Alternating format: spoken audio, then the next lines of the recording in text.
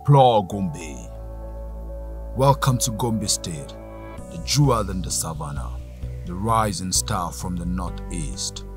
Gombe State was created 1st of October 1996 out of the former Bauchi State, covering a total area of about 20,265 square kilometers.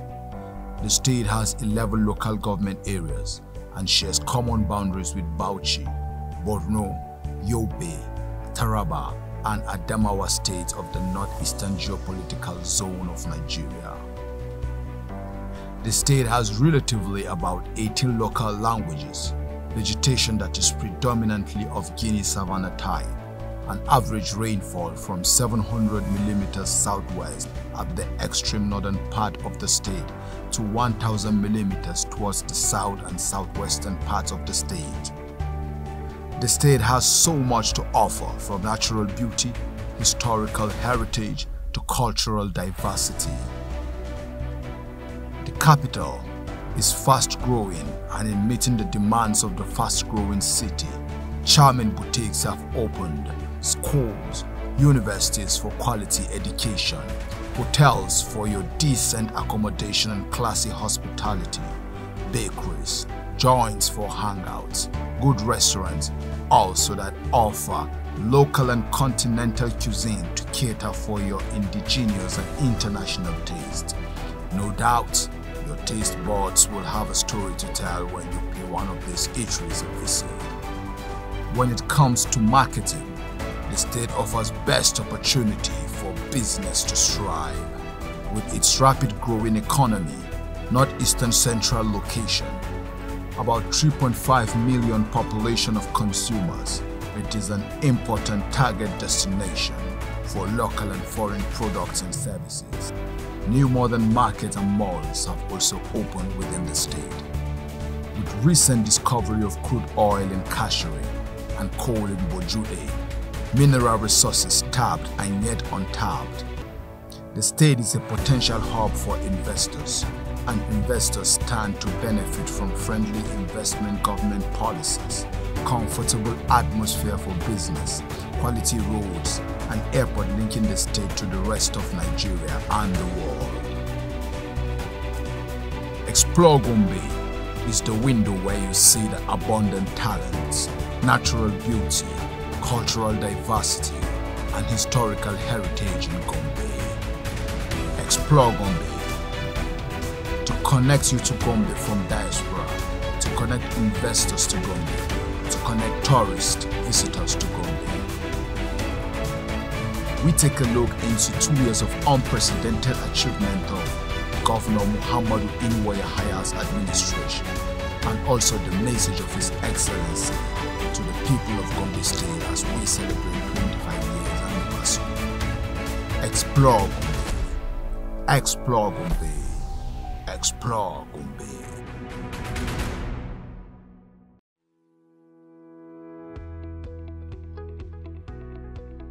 Um, for the Ministry of Environment um, in Gombe State, under my leadership as the Honorable Commissioner and with the support and overall leadership of His Excellency Muhammad Inuwa Yahaya, the Gombe State Ministry of Environment has the mandate of um, providing an appropriate, sanitized and um, um, an appropriate and sanitized environment for the people of Gombe State in order to improve their well-being and also um, to protect land degradation.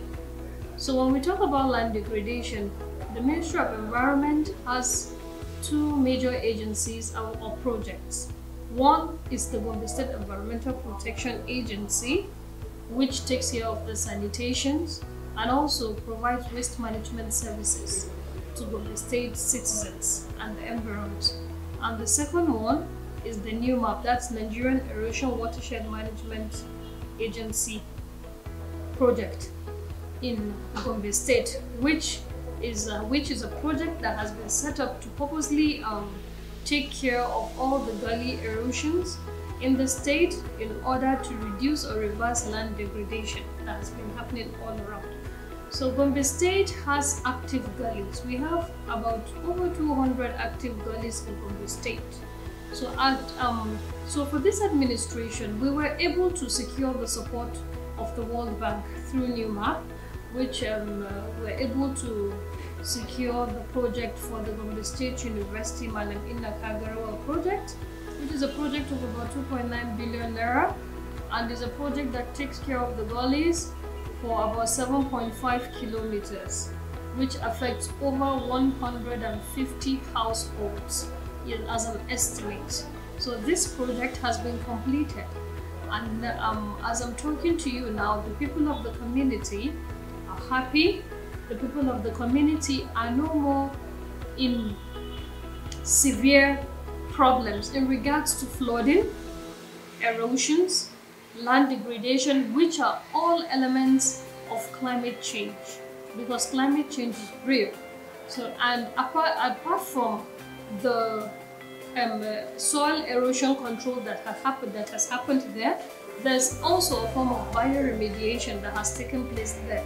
When we say bioremediation, we talk about the tree planting activities within the gully sites across 5 5 meters on both left and right hand sides of the gullies.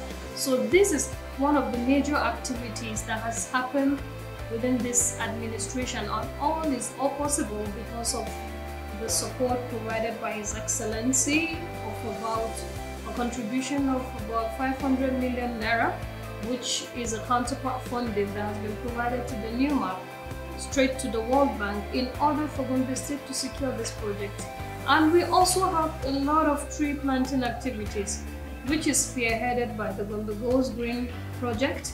And within this, this is kind of a collaboration of the Ministry of Environment um, which is which is the mother agency for tree planting activities in Gombe State, specifically to take care of all our major forest reserves. And also, we have over 300 hectares of land that has been reversed for land degradation through the creation or establishment of woodlot, woodlot plantations, roadside plantations across all the local governments in Gombe State. I want to use this medium to thank His Excellency Governor Muhammad Inuwa for all the works he has been going and has been going on in Gombe, for all the establishments, activities in this administration that has been um, that been going on.